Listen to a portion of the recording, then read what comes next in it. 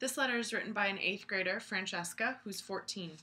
She writes Dear Amy Astley, I'm a Teen Vogue reader and received a subscription to your magazine as a Christmas gift.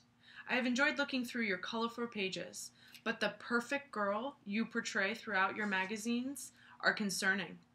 The abnormally skinny girls are changing the way people see each other. The magazine is brainwashing girls to believe that anorexic is the new usual.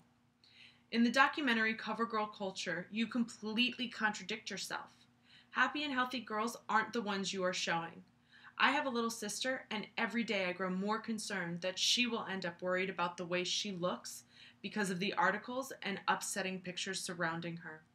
Sometimes I find myself putting your magazine away because it is best if she doesn't even expose herself to the material.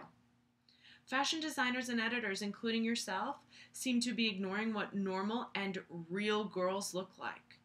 I used to enjoy flipping through your magazine, but these few things have come to my attention and I wanted to share them with you. Please take them into consideration. Thank you, Francesca, 14.